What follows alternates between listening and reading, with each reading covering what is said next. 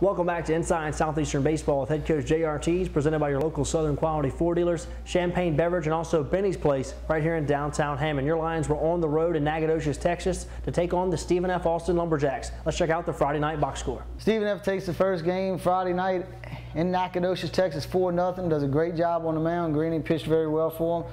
Chutor is a hard luck loser. You know, we left a lot of guys on base, but Andro threw well for us. Coach, tough loss on Friday night. Uh, a typical Friday night ball game, a low-scoring game. A good sign for Lion fans out there is Andre Chutora went back in that Friday night role and threw pretty well. Andre was really good on the mound. I'll tell you what, his stuff was back to where it was last year, and that's what I wanted to see. He's back to being on Friday nights.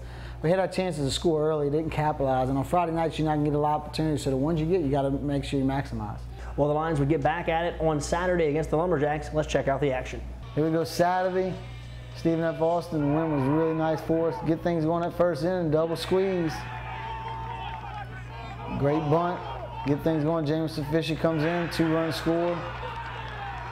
Score two runs in that first inning. That's exactly what you want to see. Great job. Guys were very aggressive. Sam gets all the way to second base.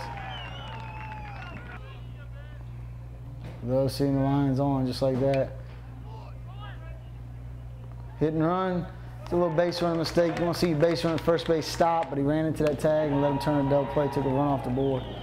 But our true freshman Tate Scioneaux was really, really good on the mound. I'll tell you what, he was dominating. 5 0 on the mound, true freshman, fantastic job. Left that ball up, and I tell you what, that hitters, you leave it up, do a great job, but Tate minimized. I tell you, he was so good this night. Fastball was really running, throwing on both sides of the plate.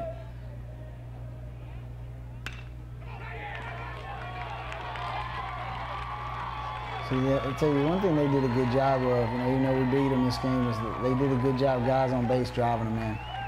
Good job of hitting.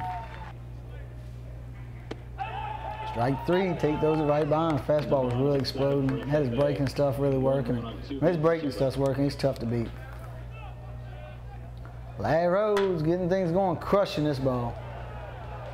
Right center field. Last swung the ball back very, very well for us.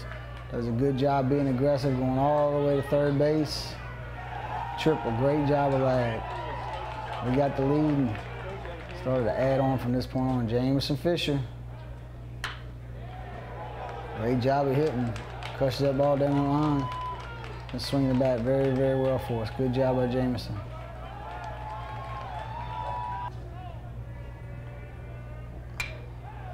Good job of hitting by Sam. Productive at bat. Runs at second and third, less than two outs. Sam did a great job hitting that ball through the middle. Tate turns it over to Mason Klotz, another true freshman. Back-to-back -back true freshman on the mound, and boy, he didn't disappoint. Gets a swing and miss, strike three. Lions win. Take Saturday's game. That's Stephen F. Austin by a score of 7-3. Tate Scioneaux, true freshman proving a 5-0 in the season.